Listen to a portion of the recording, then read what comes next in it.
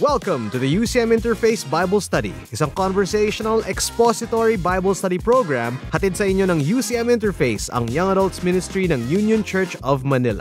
We do our best to study context and let Scripture speak for itself. Ang programang ito ay isang teaching ministry ng Union Church of Manila, a church of many nations committed to making disciples who are transformed by the gospel of Jesus Christ. Hello everybody! Ako si Gutch, isang commercial voice artist.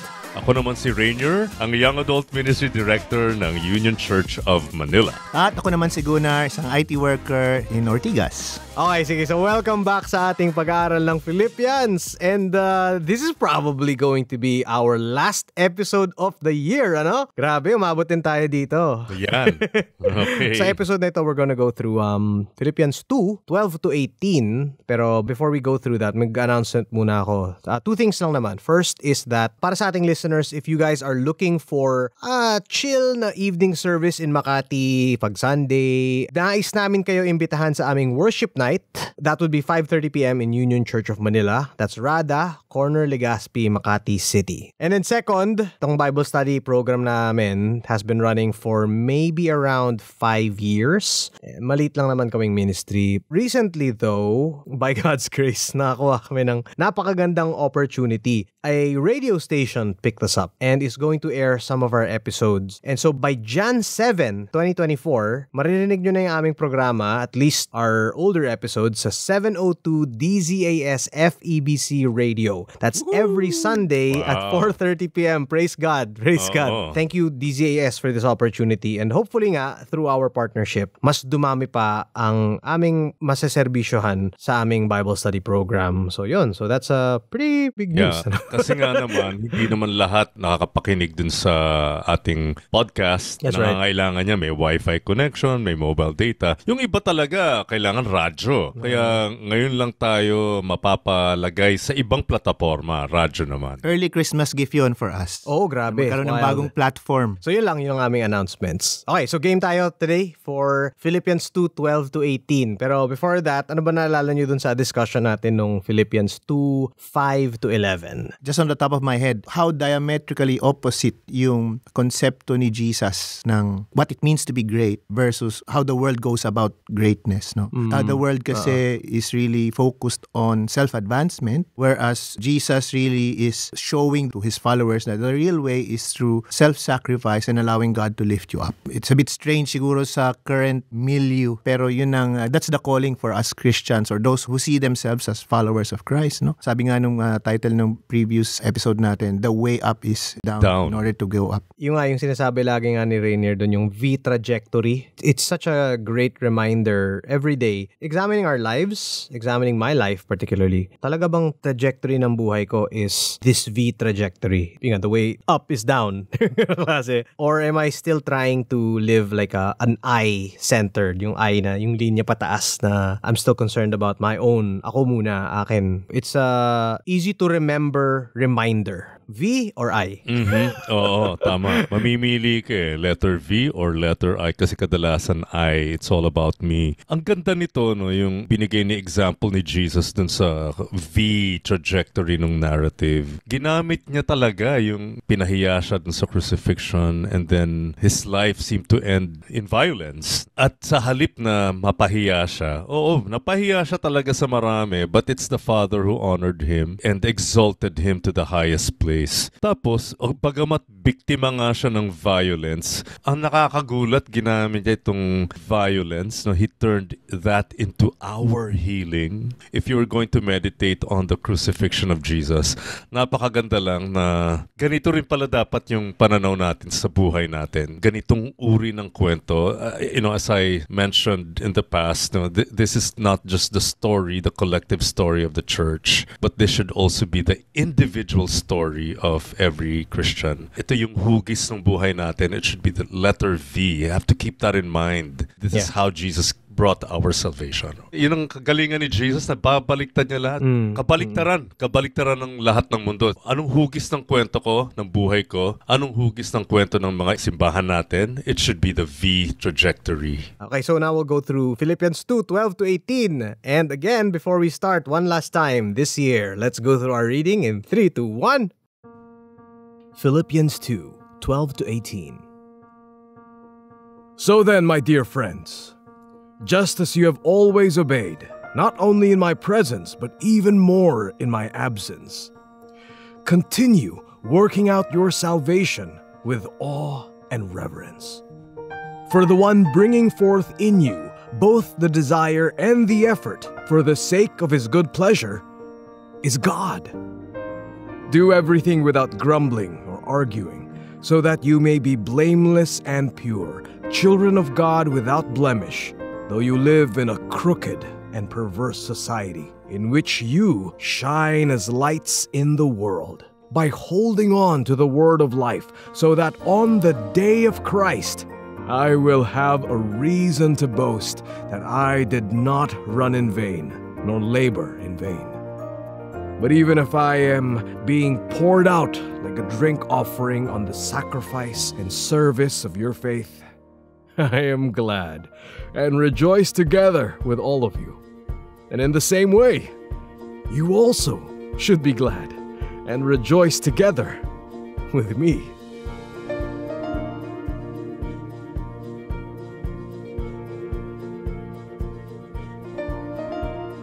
Alright, Sige. pagkatapos nung nakwento na nga yung V trajectory nung story ni Jesus, ito na yung kasunod ngayon, verses 12 to 18. Ang gusto kong mapansin natin dito, this section, this passage is tied very, very closely to, syempre, the previous one, Right. Yung Christ hymn na tinatawag or yung V trajectory narrative ni Yung Jesus. pinag-usapan natin kanina. Yun, konektado yan, nakatali talaga yan dyan. At aatras ka pa. Kahit simulan mo dun sa chapter 1 verse 27 all the way to chapter 2 verse 4. I mean, yung sinasabi nga natin, di ba, na yung mga letter na to, wala namang mga number tsaka mga chapter dati. As in, Wala. flowing letter lang talaga siya. So, we really have to check what was said before to be able to understand what's going on with the current thing that we're reading. Right, right. Usually may central thesis yung thought niya eh. Oo. so hindi siya parang collection of sayings or teachings lang. Na pwede natin bunutin individually, di ba? Uh, Yep, may flow. To understand number two, you have to go back to number one. That's correct. Yeah. Lahat yan Yeah. konektado. So, para mas maganda, no, isipin ulit natin, ano nga ba yung sa chapter 127 all the way to chapter 2 verse 4 and then 5 to 11. And napag-usapan na natin yung 5 to 11. Just a little review, yung sa 127 hanggang sa chapter 2 verse 4. Andito yung mga naalala niyo, yung mga imageries na ginamit. Yung sundalo. Sundalo, magkakasama.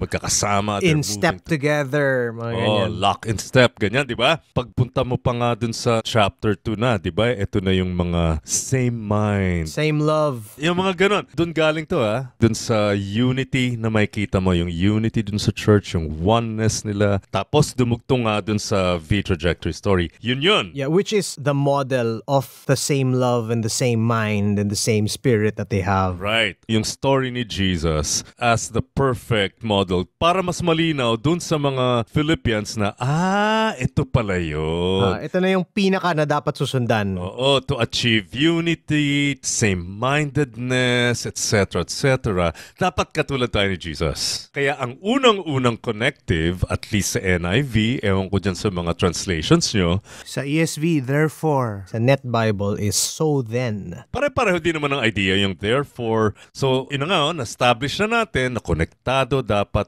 ito. So, ngayon, sabi niya, My dear friends, o napakalambing, no? Nagbibigay siya ngayon kasi ng exhortation. Ang tanong muna, ito kayang mga exhortations ay parang mga general moral exhortations o sa palagay nyo meron siyang is aiming at a specific concern? At the very least, I think Paul is speaking to the situation of the Philippians kasi sila yung target audience nung letter eh. At ano nga ba yung situation nila, 'di ba? Humaharap sila sa persecution. Isa 'yon, 'di ba? Tapos later sa chapter 3 ma-identify diyan kung sino talaga yung nag-oppose sa kanila. In fact, na nakakagulat diyan, syempre spoiler alert, Actually, kapwa din nila eh, Christian Jews. Ah, ganon. Yes. Oh, Spoiler. At dahil humaharap sila sa ganitong klaseng opposition, ganti yung circumstances nila, and there's, there's persecution, tapos kung sino pa sana yung aasahan mo na susuporta sa'yo, actually, yun ang kalaban mo. So, ano ngayon dapat? Sabi ni Paul. So, sabi niya, and my dear friends, napakalambing, no? As you have always obeyed, not only in my presence, but now much more in my absence. Hanggang dun muna tayo. Ano yung encouragement na nakita niya doon? Just as you have always obeyed. Masunurin daw si Philippian Church. Oo. At hindi lang yon, not only in my presence but even more in my absence. So hindi na Ayun. kailangan ng bantay. Ayan din si Paul pagpaayos tayo. Ayun. Naisabuhay na nila, kumbaga. Ayan, maganda yung punto ninyo. 'Di ba? Kasi inaffirm yung past obedience at saka yung present. Oo. So nakakarinig siya na ito yung ginagawa nila kahit wala kahit nasa ibang lugar na si Paul. Okay, bakit mahalaga tong affirmation na to? Kasi nga, kung mga sundalo yung mga to, ano ba nangyari dun sa kanilang commander? Nahuli, nahuli. Na kulong. Nakakulong, di ba? E di siyempre, kung nakakulong yung commander nyo, madidishearten kayo, di ba? Pero hindi ganun si Paul eh. Ina-affirm niya, Tuloy lang. Tuloy lang. Ang maganda sa mga to, kahit wala si Commander, tuloy lang sila. They're still obeying the Lord Jesus. They're faithful to Jesus. Right? Ang maganda din dito, alam nyo, hindi niya pinapalakad yung mga churches na parang kulto. Yung centered sa kanya. Yes. Hindi ganun si Paul because he's always pointing to Jesus. So kahit mawala siya o ano man yung sitwasyon niya, they're still obedient to Jesus because it's not dependent on His presence. Ako ang isang naisip ko dito is how I deal with my child, no? May ginagawa siyang tama, I have to affirm the correct behavior kasi the message that I want to convey is that you're doing the right thing and you just keep on doing it. To build yung assurance sa kanya na even if I don't see it, I am happy with what he's doing. And also, since na-mention nga ni Gunnar, actually, na-mention nyo yung idea ng pagiging tatay. Eto, kami ni Gunnar were fathers, di ba? And ito yung goal. Yeah. Di ba? As a Yes. father, naku. wow! Ayoko na magsaway. Just imagine, di ba? Yung the joy that we would feel na makita namin yung children namin having Christ-like values, obedience, lifestyle, Uh-huh, loyalty to uh-huh, Jesus na uh-huh. hindi dahil pinipilit namin or something. Oo. Hindi dahil nakatanghod ka at ah, Right. nakabantay sa ano nila. Oo. Oo. Andyan si Papa. Kaya natin magpakabait. Behave Oo, tayo. Hindi, as in talagang namunga yung seeds. Kumbaga, totoo sa kanila. Yeah, lalo pa nga na parang minsan may pinapahiwatig si Paul dito eh. It's about the possibility that he will actually die. Kaya ngayon pa lang ina-affirm na niya because without strong leadership, maraming pwede mangyari eh. Fear can take over. There could be disunity in the body of Christ. Ibig sabihin, mukhang tama yung pagpapalaki ni Paul sa mga to. Kung isipin natin si Paul yung tatay nila. Magaling siyang tatay. So dun pa lang ha, in-affirm na niya, not only in my presence, but now much more in my absence. And then he said, eto na, yung medyo nakakalito na statement ni Paul. Right. Continue to work out your salvation with fear and trembling. I, I read from the NIV. Work out your own salvation with fear and trembling. Your own. ESV, your own. Right. Napaka-popular na ginagamit kasi yung word na salvation. Na, itong salitang ito, lilinawin natin. Kasi pag sinabing salvation, ano naiisip nyo? Personal salvation, forgiveness of sins. So, eternal salvation ba? Oh, Ayun. yan. Okay. Kung saan mo pupunta ang kaluluwa mo sa Yun, dulo? Parang gano'n, no? So, yun agad ang pumapasok sa atin. Wala sa ating nagbabasa ng NRSV, the New Revised Standard Version. Ang ginamit niya doon, deliverance. Ah, okay. May subtle difference yung deliverance sa salvation. Meron. Kasi nga, itong salita na to, yung pag sinabi mong soteria, in Greek, soteria, Hmm. Deliverance eh, salvation. sa ano? Hindi palaging ibig Sa sabihin chapter yan, 1. eternal salvation. Hindi palagi. Bibigay tayo ng mga ilang examples. Tsaka, this is something that we discussed. So, 119? Chapter 1, 19. Oo. For I know that this will turn out for my deliverance. That's correct. Kasi sa atin, medyo na-hijack na natin yung ibig sabihin ng salvation. Kapag sinabi salvation, we right away associate that with personal salvation or the end-time salvation, the eschatological salvation. Pero hindi nga palaging ganun ang gamit ng soteria. Pwede siyang rescue. Okay. Na-deliver ako, na-save ako from danger. Pwede rin kasing ganun ganun eh. Pero, ang common kasi sa atin na interpretation dito, puntahan muna natin yung popular interpretation. Continue to work out your salvation with fear and trembling. Kadalasan sinasabi natin na, oh, this is your personal salvation. So dapat pagtrabahuhan mo yung ano mo, yung kaligtasan mo, ganun. Doon ngayon nagkakaroon ng issue because of this phrase, workout. Yung argument ng iba, well, iba ang workout. Hindi naman ibig sabihin daw ng workout that's different from Work for, ah. Because we believe that salvation is not something that you earn, but it's a gift, sabi. That's right. So yung workout, una, it's not a verb of earning, but one of making. Iba yung nuance. You're not earning it, but you're making your salvation, meaning ang common na narinig kong interpretation is it refers to your lifestyle and obedience. That's how you work it out. Right. How you work out ah. your salvation is how you demonstrate that in your life. Parang express. Ayan. Okay. So express. Because you are saved from sin, you are now saved Oo, for oo. specific responsibilities, for the works that God wants, for the mission. Right, You're now right. ambassadors. So that's the more common interpretation. You work out your own salvation with fear and trembling, meaning this is about your personal salvation. Parang meron tayong kaunting issue dito kapag ang pagkaisip natin dun sa salvation dito ay personal salvation. Alright? Okay. Now, this is not my original view. Wala naman akong original ideas anyway. Mahilig lang ako magbasa. Kala ko ikaw nakaisip ng lahat ng to eh. Wala. Ito napulot ko lang to dun sa commentary ni Michael Bird at saka ni Nijay Gupta. Gustong gusto ko talaga itong mga theologians na to. Yung mga listeners natin, hanapin nyo sila. Ang dami nyo mapupulot dito kay Michael Bird at kay Nijay Gupta. Ngayon, meron silang sinabi dito sa commentary nila parang, Teka lang, bakit personal salvation agad? Hindi kaya napaka-abrupt considering na hindi naman yan ang pinag-uusapan, nakabigla mo na lang pinasok yung usapin tungkol sa personal salvation?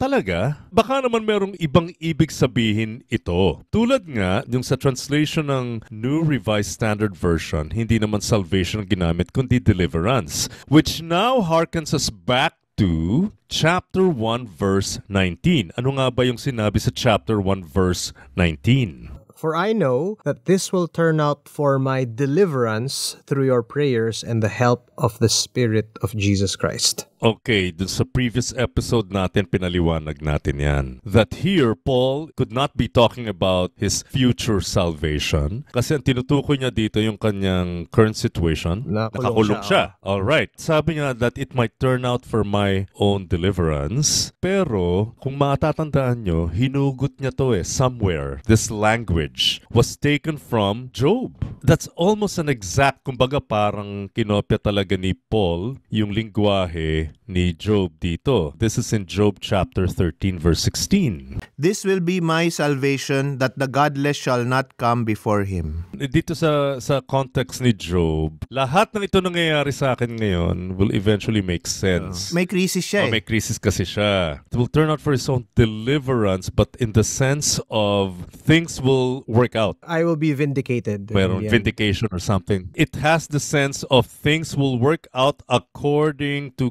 God's will. So it's all for the best. I'll be vindicated and things will make sense. Walang masasayang dito. So, kung ganun nga ang sense na pagkagamit ni Paul dun sa 119, pwede rin kasi na ito rin yung sinasabi ni Paul dito. In light of everything that's happening to them, wala si Paul, absent, may persecutors, merong opposition na nangyayari, at lahat yan pwede kasi makasira sa church. Right. Potentially makakasira sa kanila. But sabi niya, no, continue to work out your own deliverance. But in light of what he said in 119, that it will all work out in the end. So, wag kayong mag-give up. God's plans will happen. Matutuloy at matutuloy yung plano niya. Parang gano'n? Oo. And I think it fits better the flow of the ideas previously in 127 and then also in chapter 2 all the way to verse 11. So parang sinasabi ba dito ni Paul is work out your salvation. Ibig sabihin, keep on doing it, maintain it because that will be be the key to your deliverance. Or understanding everything that's going on. Na it doesn't make sense to you now, Now. but it will in the future. So figure it out yourselves. Kumbaga, sinasabi ni Paul, ako yun ang ginagawa ko. Diba? So 119. Yun yung confidence niya. eh. It will all turn out for my deliverance. But in the context of Job 13. So ano yung workout na part?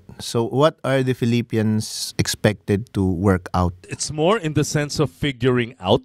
Kumbaga sinabi ni Paul, no, let me quote yung pagkaka-paraphrase ni Nijay Gupta at saka ni Michael Bird. I, Paul, have figured out how to trust in God's own way of working things out for the best, and now I call upon you to figure it out for yourselves. In your situation, Right. Given your situation and all the challenges that you're facing currently, figure it all out. Kayo makakaalam niyan. So in a way, binibigyan pa rin niya ng independence itong mga to. Hindi Yeah. lang siya basta nagdidikta. Parang you have my example, you have Jesus' example. Now figure out how those would apply to Will you. work out for you. Oh yeah, yeah. And you know, figure it out yung paano yung nag-apply sa buhay nyo, leading you into your own deliverance from this situation. And I think it is relatable even to us today kasi every generation, there's always something that we have to struggle with. 50 years ago, the world was very different. 10 years ago, the world was very Uh-huh, different. But uh-huh. still, we're all still called to loyalty and obedience. And we just have to figure it out specifically kung ano nang kailangan natin gawin and Uh-huh. obey because it will turn out in the end. Yes. Okay, so we just presented two views. Yung isa yung more common or more popular. Ito naman is just an alternative view. But me personally, mas gusto ko yung number two kasi mas pasok siya dun sa tema. Mas consistent lang siya Mas dun consistent. sa text in general. Ano? Oo. Yes, yes. So, pero, alam nyo naman, magkakaiba-iba minsan ng views, but please, this is not a hill I want to die on. Oo. Huwag tayong magka-away-away Away-away, ng ah. dahil dito. So just presenting two views, Right, not right. saying that one is wrong. Right, right. particularly. Yeah. We'll let the listeners work out for themselves. Work it out. you work it out.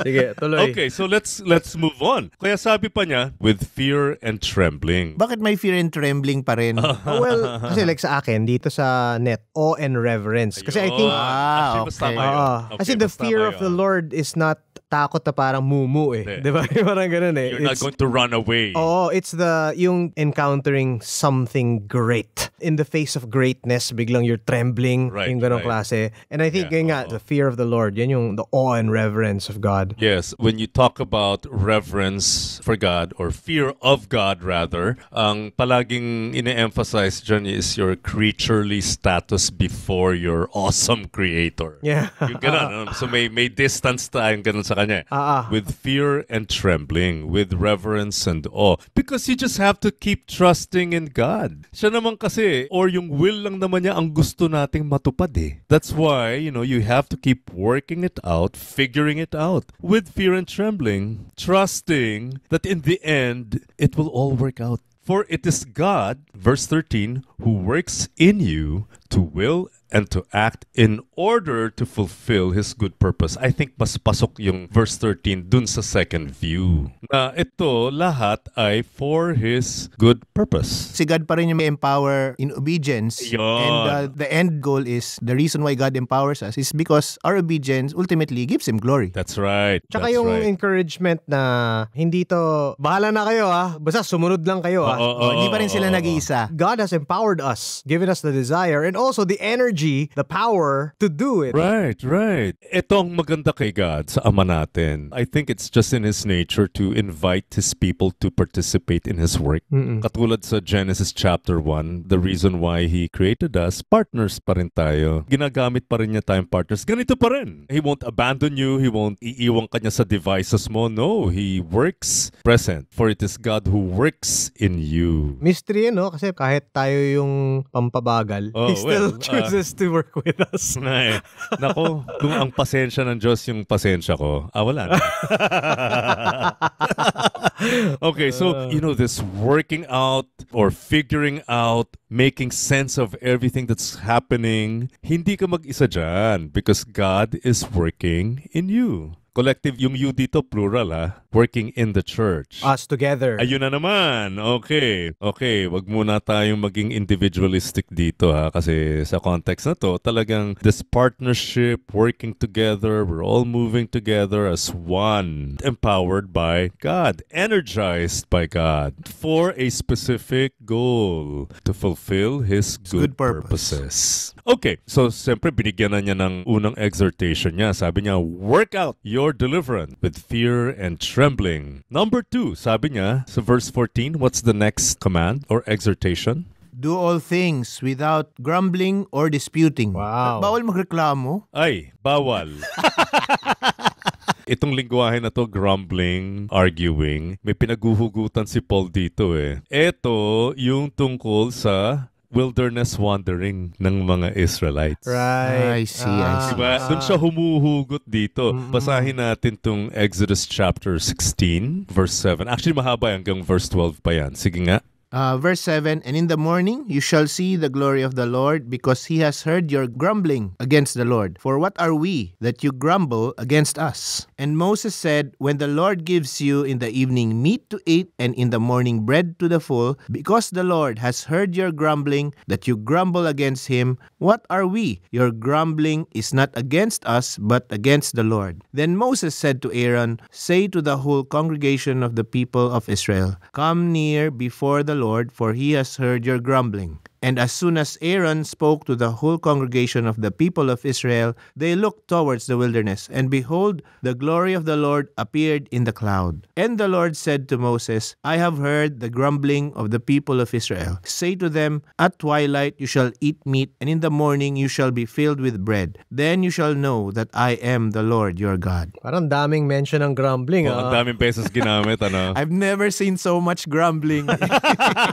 in a few verses. In a few verses, no, paulit-ulit, yan ang mga technique para Ma-highlight. ma-impress din sa reader. Ganon din kadami yung grumbling ng Israel siguro. Na. Bakit ba sila nag-grumble nung panahon na yon in the wilderness, when they were in the wilderness? They were suffering some adversity kasi on the way to Oo, the promised on the land. way. Ah, okay, Oo. okay, okay. Nagagalit sila sa Diyos kasi napaka-inconvenient daw ng buhay nila. Talaga? Pero alam mo, whenever I read that part of the Exodus story, it, nawiwirduhan talaga ako dyan. Na parang, di ba nyo ba nakita yung napakaraming miracles na ginawa ng Panginoon sa inyo? Nasa Egypt pa lang kayo. Hindi lang yun. Wala nang kasing hihirap pa sa buhay ng isang alipin. Tama. Kaya talagang nagsisinungaling talaga to mga to. Ewan ko ha, hindi pa uso yung salitang gaslight nun pero ginagaslight nila si Lord eh. Hmm. Kasalanan mo to eh. Pambira, binigyan ka ng freedom. Ang dami pang pangako sa'yo na i-deliver naman and they were all delivered anyway. Pero nagre-reklamo ka pa. Eto ngayon yung warning ni Paul na teka lang, sabi niya, Dear friends, Friend. Wag lang kayong katulad nitong Israelites when they were wandering in the desert. Do everything without grumbling or arguing. Isipin natin, situation nila. Pwedeng mawala na si Paul, mawala na sila ng leader, pero buti na lang, obedient pa rin sila. However, maaring hindi palaging ganyan, given the fact that they're currently facing persecution, opposition. So, pwedeng lumala. Sa ngayon, parang okay-okay pa. Pero pwedeng lumala ang situation nila and that can result in grumbling or arguing. They're grumbling against God, no? Parang ganon, di ba? Or maybe even Paul later. There's a possibility they would do that. Pero yung arguing, it could be amongst themselves. Bakit nangyayari ito? Itong arguing na to, itong mga bickering na to, lalo dun sa sitwasyon nila. Feeling ko nangyayari yan even in normal situations, normal groups, when you lose sight of the end goal. Okay. Kung hindi na kayo nag-think together as a team, you start pointing uh, the faults. Mm, Sometimes mhm. the goal changes to, I need to make myself as good as possible para sa dulo is ako ang Right, makakuha ng right. promotion. So, those kinds of things uh, usually pop in when ang mindset ng team members is no longer the original goal of the project. No longer the V trajectory. no longer the V trajectory, especially if they are under outside threat at saka pressure. So sabihin nila, eh kung nakinig ba naman kayo sa akin, di tayo sana nagkaganito. O nangyayari to kapag ka nagkakaproblema na yung Mhm. project, delayed kayo. Doon ang tendency Right. magsimula yung mga ganitong disputes. At ganun din sa church, lalo kung meron silang ng outside pressure. O ayan, kita nyo nangyari tuloy. Nabisto yung mga activities natin. O tingnan ninyo, ayan tuloy, na-confiscate na yung estate ni ganito. I'm just giving examples, but the point here is, there could be someone na bigla na lang magmamalaki, magmamataas. Eh, ako lang marunong dito eh. Eh, lahat naman kayo, walang kaalam-alam. Tingnan nyo, napapahamak yung church natin. Kung nakikinig lang sana kayo sa akin, okay pa tayo. Hindi na siya V-trajectory. Pa-superstar na kasi. Superstar ka na. There's empty conceit. Then there's uh, posturing. Doon mawawala yung unity in Christ na sinasabi na ni Paul doon pa lang sa simula ng letter. Kaya just say no to these attitudes and habits. Blaming others or sometimes self-pity. Minsan ganun din eh. At ngayon, kapag nangyayari lahat ito, ano mangyayari din sa church? Hindi siya magiging effective. Hindi. They're not coming together anymore. They're not helping each other anymore. They're not supporting each other anymore. Nagkakanya-kanya na. Magsastagnate tapos magwawatak-watak. Ang masakit dyan, mag-veer off yung church dun sa purpose which is yung good works na gustong ipagawa sa kanila Right. ni God. Mag-veer off yung church from giving glory to God. Yes, because of the disunity at kapag may disunity, sigurado meron isa dyan o dalawa dyan, whoever will want to elevate himself. Eh hindi pala ganun ang design ng church. The more that the church is under attack or pressure, lalong umiigting dyan yung values nila sa, ano, for example, humility, yung V trajectory ni Jesus. Mas lalo pa dapat makita yon. Kaya ang sabi niya in verse 15, so that you may be blameless and pure, children of God without blemish, though you live in a crooked and perverse society in which you shine as lights in the world. para maging blameless and pure. Children of God, particularly in what kind of setting or culture? In the midst of a crooked and twisted generation. Oy, parang yun ang ano. Ah, Wala nagbago. Yun na nga eh, kahit ano pang generation yan, crooked pa rin lahat ng generations, eh, no? Pero, kailangan pa rin, you need to stand out. You have to be different. But not standing out in terms of being proud, Or notorious ka. o yung notorious, yeah, Yeah. hindi notoriety, but being blameless and pure. and shining as lights in the world. Mhm. Ang naalala ko dito yung mission ng people of God which is to be a light for the nations. Right. Basahin natin Isaiah 49 verse 6.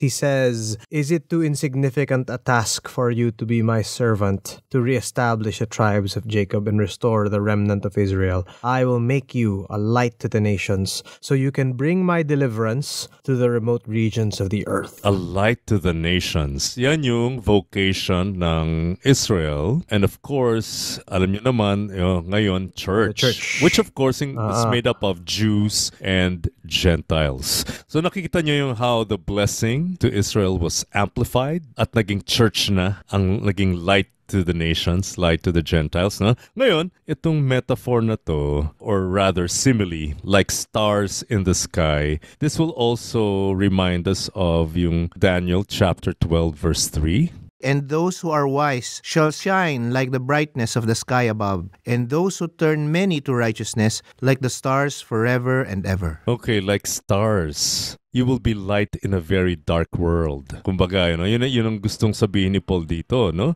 That you will shine like stars in the sky. Okay, kung isusuma nyo yan or summarize that, ano ang gustong ipaalala ni Paul sa kanila na instead of grumbling and arguing, you have to remember who you are. Especially in the eyes of the world. Okay, in the warped and crooked generation or in the eyes of the world, you have to keep that identity. Oh, siguro ano, kaya may reminder si Paul dito kasi madali naman kasing mag-stand up for your principles if everything is going good. But the situation that they are in is Ay. not so good and may even get worse. That's why Paul really gave this reminder. Oo. Grabe. Ang pinag-uugatan nito pala, hindi kayo magiging ganito. You can't be blameless, you can't be pure, you can't be this witness to the world, you can't be light in the darkness if you grumble and argue. Kasi ang laki ng trabaho eh. Tapos watak-watak kayo, tapos nagpapasikatan kayo. Hindi pwede. Kasi pag may pressure from outside, may threats, yan ang unang-una nangyari. They will fall away or they will scatter. Self-preservation. Yun ang mauna. Very good point, Gunnar. Self-preservation. Kabaliktaran talaga eh sa ginawa ni Christ eh. Oo. Kasi nga, pag may threat, ay isasalba ko na sarili ko. Pero hindi, hindi pa rin. And then, let's continue. Verse 16. holding fast to the word of life, so that in the day of Christ I may be proud that I did not run in vain or labor in vain. Gagawin niyo to, no? You will shine like stars. Your light in the darkness. How? By holding on to the word of life. Holding on to your convictions as a believer, especially in a world that opposes the values of our Lord.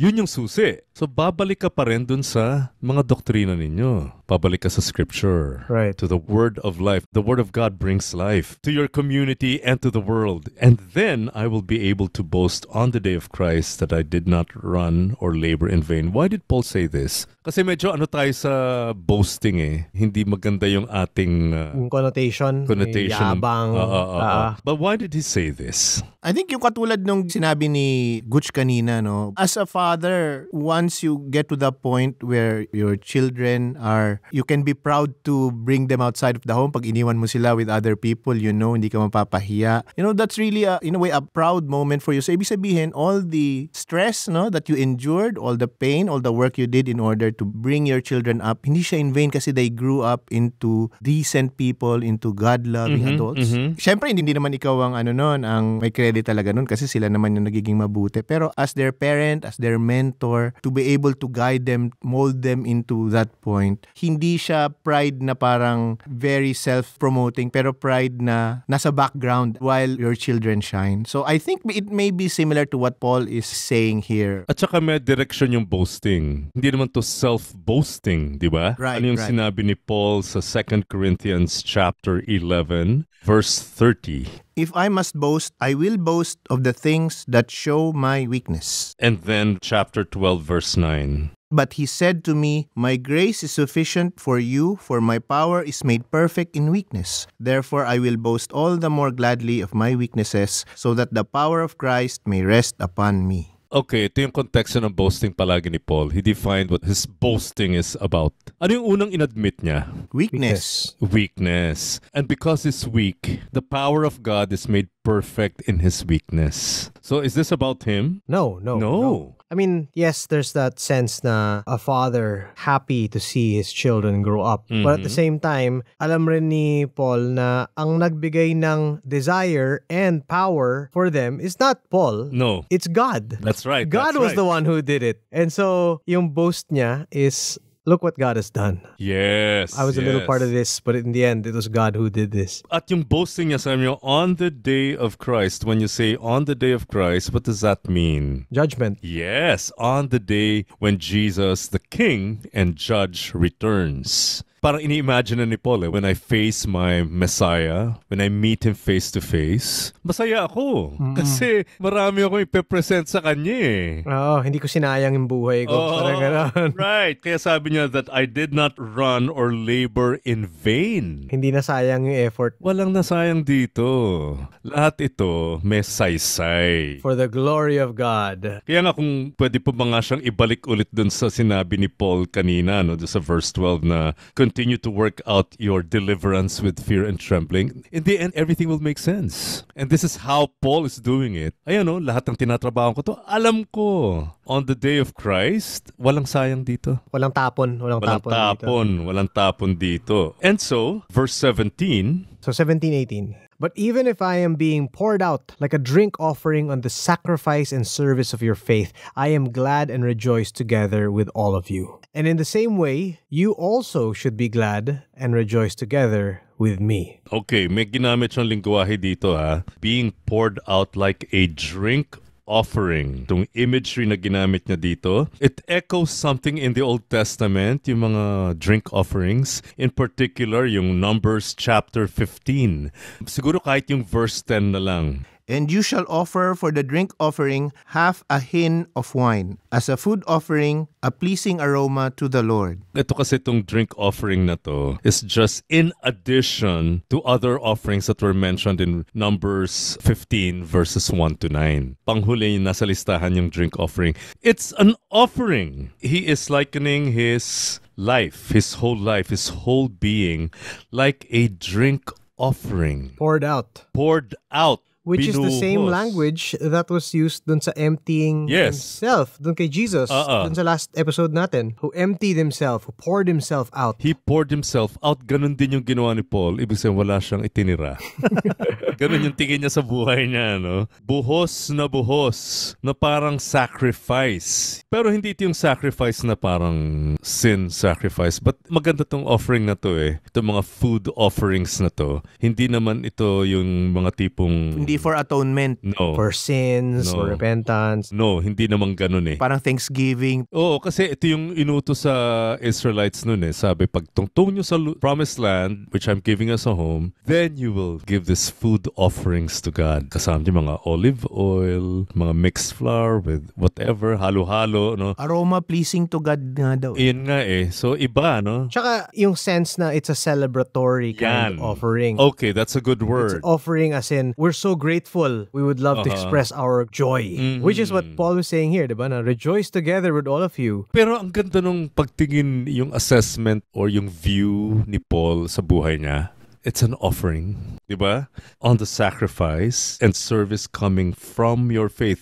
Anong pagkakasabi dun sa mga Bibles ninyo? Ulitin ko lang yung verse 17. Even if I am to be poured out as a drink offering upon the sacrificial offering of your faith, I am glad and rejoice with you all. Dito sa NIV, service coming from your faith. So it's like I'm offering in the same way that you guys are offering. We're offering together. Tama ba? Yes, kumbaga it's a co-offering. Ako at saka kayo, yung service nilang mga Philippians that's coming from their faith at saka yung buhay ko. Okay. Ibig sabihin, lahat ng ito Isang package lang siya, lahat ito ino-offer kay God for His pleasure. for His pleasure and therefore it's not for nothing. That's why He said, I am glad and rejoice with all of you.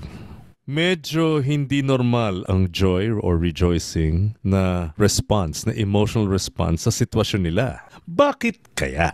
Bakit rejoice? Eh kasi nga si Paul laging eyes on the prize eh. Very long view siya. So ang ending kasi nito yung glorification. Like Jesus, in the end, Jesus was glorified by God. So tayo, kahit na mababa ang sitwasyon natin, kumbaga nasa ilalim tayo ng V ngayon, in the end, God will exalt us and glorify us. Yun. Oh, and then also, as we discussed dun sa verse 12, yung deliverance, na matutuloy at matutuloy yung plano ni God. And He will be glorified. His plans will happen. It's all for His good purpose. So lahat to, it's a momentary suffering. And eventually, it will turn out well. So we can rejoice in that. Kaya ang tingin ko no, kay Paul, talagang memoryadong memoryado niya yung V trajectory at saka pinamumuhay niya. Kaya ganito siya. In the end, rejoice.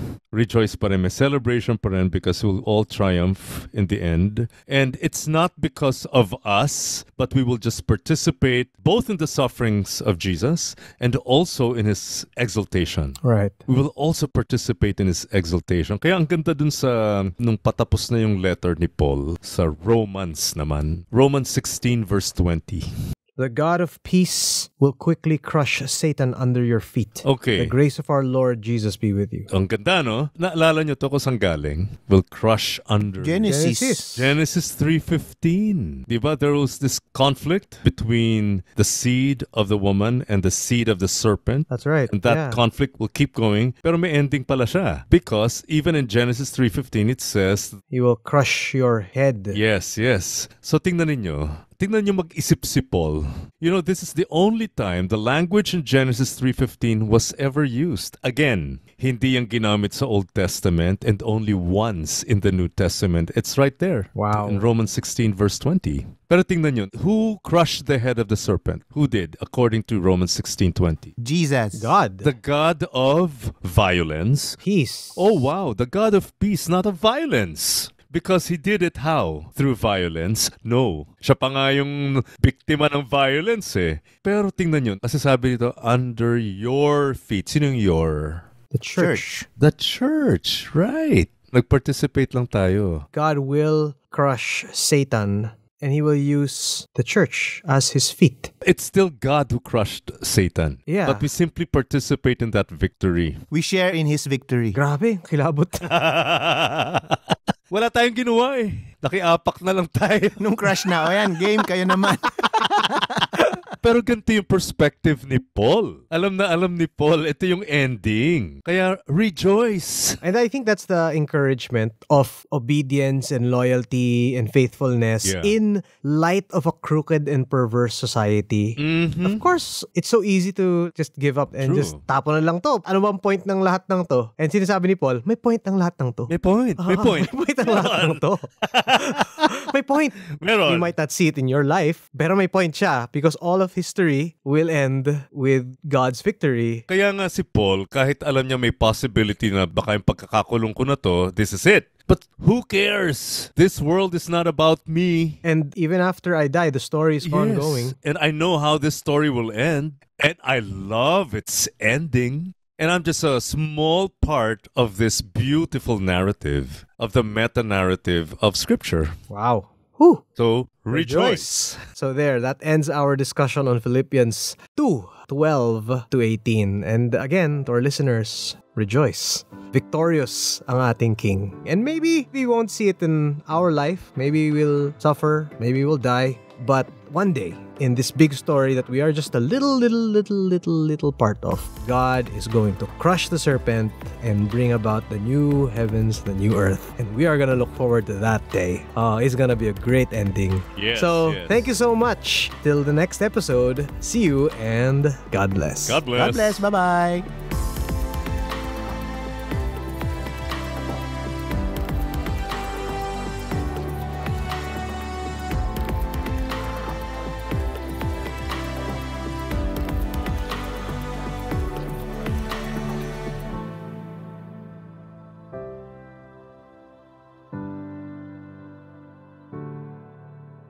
Thanks for listening to the UCM Interface Bible Study Podcast. If you want to know more about our ministry, check out the UCM Interface Facebook page or email us at ucminterface at gmail.com. Join us at Union Church of Manila, Rada, Corner Legazpi, Makati City. Thanks and God bless.